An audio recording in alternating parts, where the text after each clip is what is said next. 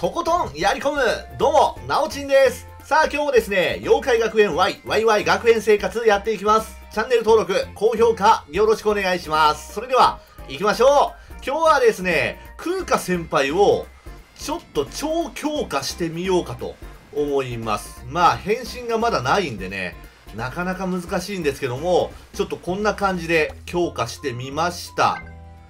えっ、ー、とね、パワー見てください。1498です。これって、レベル600の人兵よりも高くなってるんですよ。まあ、あの、装備とか変えれば人兵もまだ強くなるんですけども、まあ、今の状態で、えー、人兵よりもパワーが上。うん、脳筋のメラよりもパワー上ですよ。はい。まあ、これが、まず、これですね。あの、超高級ブランドバッグで、パワーが、プラス300されてます。まあ、これで、えっ、ー、と、脳筋仕様になったっていうことですね。で、さらに、これで強化します。野球人のバット。これがガチャゲンなんですけども、攻撃力が60%アップします。まあ、防御は20%下がっちゃうんですけどね。まあ、結構リスキーなんですけども、攻撃力は上がります。そして、これ。え、ー、と、召喚メダルで生身がついてるやつですね。これが変身ゲージが溜まりにくいけども、人間の時の攻撃力が上がる。で、これはね、今持ってるやつで一番上がって62%上がります。ということは、バットと合わせて122%攻撃力が上がるんですね。で、それにさらに、ローストビーフでパワーを30%上げるということです。まあ、どうでしょうね。どれぐらい強くなってるのか。まあ、ボスと戦って試してみましょう。はい、えー、まあ、ちょっとね、アニメっぽくミケッティオと戦ってみましょう。超ミケッティオの方ですね。強い方です。えーと、攻撃はまあ良ければいいとして、ダメージどれぐらい与えれるか。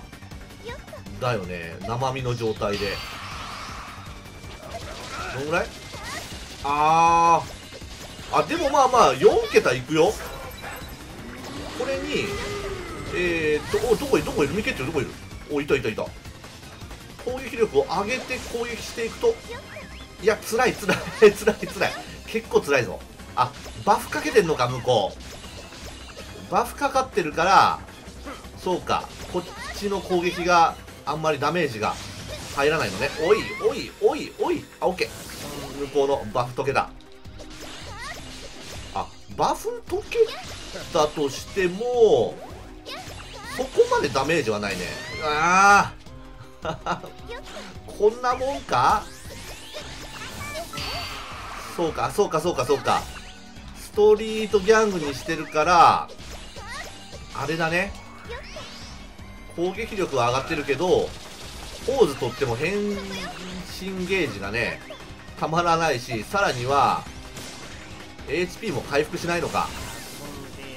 あー。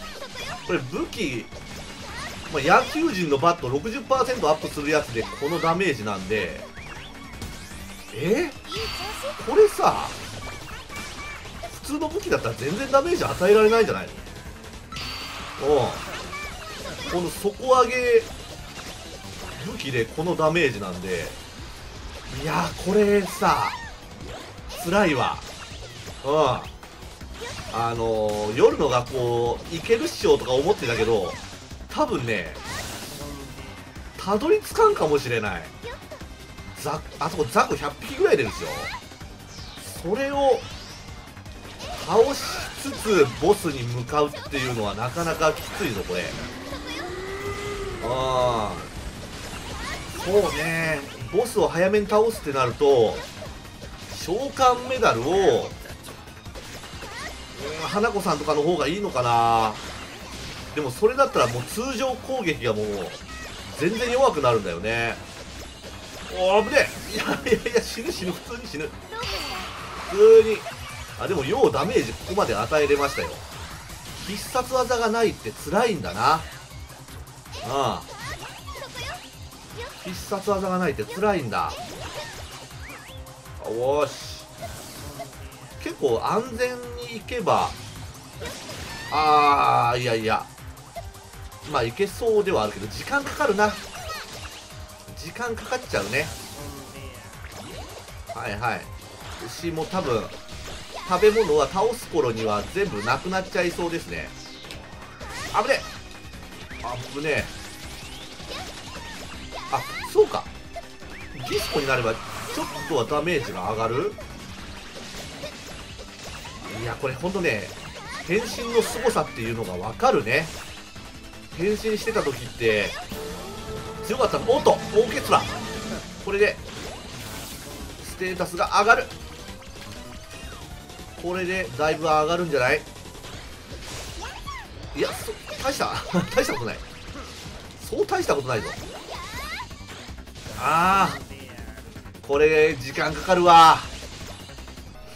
いや蝶のねミケッティオでもね相当つらい。相当つら いよ。必殺技があるってほんとすごいんだね。